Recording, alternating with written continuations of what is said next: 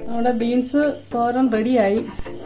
അതിനകത്ത് വടപ്പരിപ്പും ഉഴുന്ന് പരിപ്പും സാമ്പാർ പരിപ്പും ചേർത്തിട്ടുള്ള കറിയാണ്. അത് റെഡിയായി. നമ്മളെ ടേസ്റ്റ് ഒന്ന് നോക്കട്ടെ. ഇന്ന് നമുക്ക് ഉണ്ടാക്കുന്ന തോരൻ ബീൻസും വടപ്പരിപ്പും സാമ്പാർ പരിപ്പും കൊണ്ട് ഒരു നാടൻ രീതിയിൽ ഒരു തോരനാണ് ഇന്ന് നമ്മളിവിടെ ഉണ്ടാക്കാൻ പോകുന്നത്. അതിന് വേണ്ട സാധനങ്ങൾ എന്തൊക്കെയാണെന്ന് നമുക്ക് നോക്കാം. ബീൻസ് ഒരു മുക്കാൽ കിലോ. വടപ്പരിപ്പ് ഇതാണ് വടപ്പരിപ്പ്. ഇതൊരു നൂറ് ഗ്രാം ഉണ്ട്. ഇത് ഞാൻ വെള്ളത്തിലിട്ട് കുതിർത്തിയതാണത്. കുതിർത്തിയ പരിപ്പാണത് ഈ വടപ്പരിപ്പ്. അതുപോലെ തന്നെ ഇത് സാമ്പാർ പരിപ്പ് ഇതും നൂറ് ഗ്രാം ഉണ്ട്. ഇതും വെള്ളത്തിലിട്ട് കുതിർത്തിയതാണത്. കടുക് മഞ്ഞപ്പൊടി ഒരു സ്പൂൺ ചെറിയ സ്പൂൺ മഞ്ഞപ്പൊടി വെളിച്ചെണ്ണ ഒരു ഏഴല്ലി ചുവന്നുള്ളി ഒരു കുറച്ച് ഒരു ഒരു ഒരു വാളൻ ഉഴുന്നു പരിപ്പ്.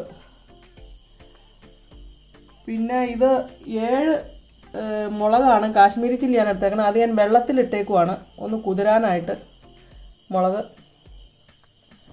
ഇത് ആവശ്യത്തിന് ഉപ്പ്. ബീൻസ് നമുക്ക് വേവിക്കാനായിട്ട് വെക്കാം. ചട്ടിക്കകത്ത്. ബീൻസ് ഇതുപോലെ ചെറുതായിട്ട് അരിഞ്ഞതാണ്.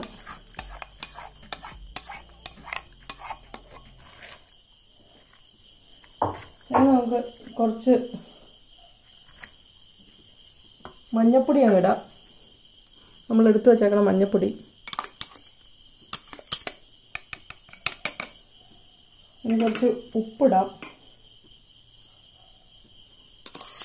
ഇട്ട് വെച്ചേക്കണം ഉപ്പ് ഇട്ട് കൊടുക്കാം. ഇനി കുറച്ച് വെള്ളം ഒഴിക്കാം. നമുക്ക് അടുപ്പത്തേക്ക് വെക്കാം. നമുക്ക് ഈ വടപ്പരിപ്പ് ഈ വടപ്പരിപ്പും സാമ്പാർ പരിപ്പും ഈ മുളകും ഉള്ളിയും കൂടെ നമുക്കൊന്ന് ഇത് മിക്സിക്കകത്ത് ഈ ജാറിനകത്തിട്ട് മിക്സർ ജാറിനകത്തിട്ട് നമുക്കൊന്ന് ഒതുക്കിയെടുക്കാം.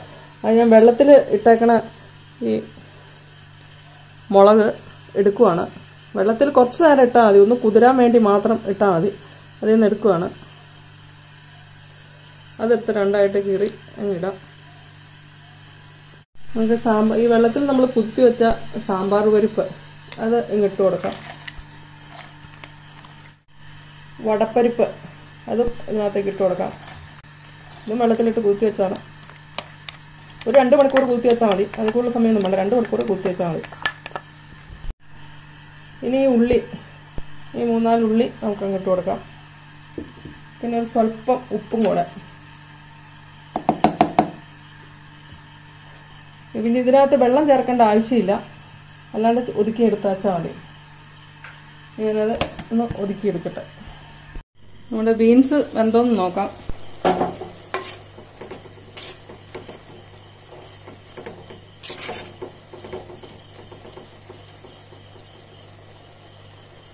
ബീൻസ് വെന്തു. നമുക്ക് തീ ഓഫാക്കാം. നമ്മൾ ആ പരിപ്പ് മുളകും ഉള്ളിയും കൂടെ ഒതുക്കിയെടുത്തതാണത്. ഇത്രയാണ് അറിയാൻ പാടുള്ളൂ. അധികം അറിയരുത്. ഒരു ഇഡ്ഡലിത്തട്ട് എടുത്തിരിക്കുവാണ്. അതിനകത്തേക്ക് നമ്മൾ കുറച്ച് വെള്ളം ഒഴിച്ചു. ഇനി നമ്മൾ അതിന്റെ തട്ട് ഇറക്കി വയ്ക്കുവാണ് അതിനകത്തേക്ക് നമുക്ക് നമ്മൾ ആ ഒതുക്കി വെച്ചിരുന്നത് ഒന്ന് ആവി കയറ്റാനായിട്ട് ഇങ്ങനെ കുറേശ്ശെ തട്ടിലേക്ക് ഇടുവാണ്.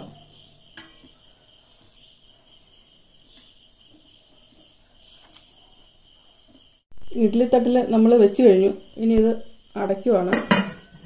ഇനി നമുക്കത് ഒന്ന് ആവി വരുത്താം. ഒരു പത്ത് മിനിറ്റ് നേരം നമുക്ക് ആവി വരുത്താം അടുപ്പത്ത് വെച്ച്.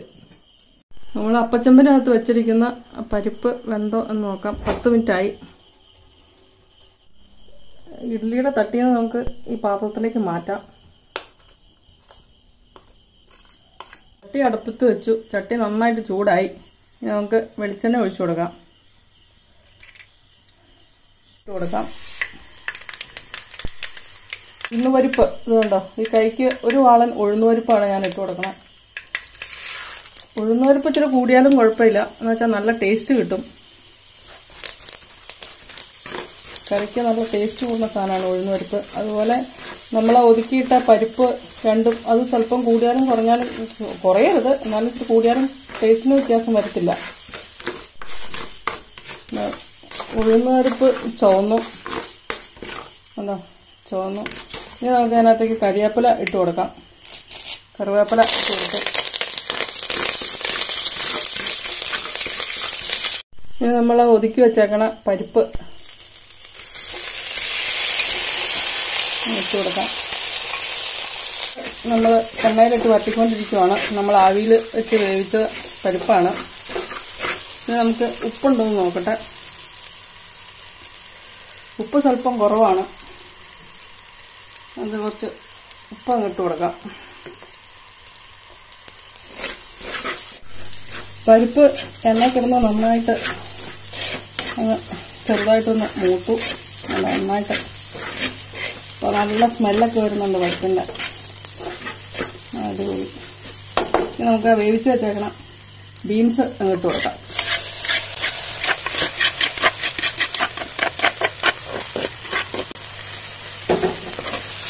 നന്നായിട്ട് ഇളക്കി കൊടുക്കാനായിട്ട് നമ്മുടെ ബീൻസ് തോരൻ റെഡിയായി. അതിനകത്ത് വടപ്പരിപ്പും ഉഴുന്ന് പരിപ്പും സാമ്പാർ പരിപ്പും ചേർത്തിട്ടുള്ള കറിയാണ്. അത് റെഡിയായി. നമ്മളെ ടേസ്റ്റ് ഒന്ന് നോക്കട്ടെ. ഓ നല്ല സൂപ്പർ ടേസ്റ്റാണ് ഇതുപോലെ നിങ്ങളും ഉണ്ടാക്കി നോക്കൂ. നല്ല അടിപൊളി ടേസ്റ്റാണ്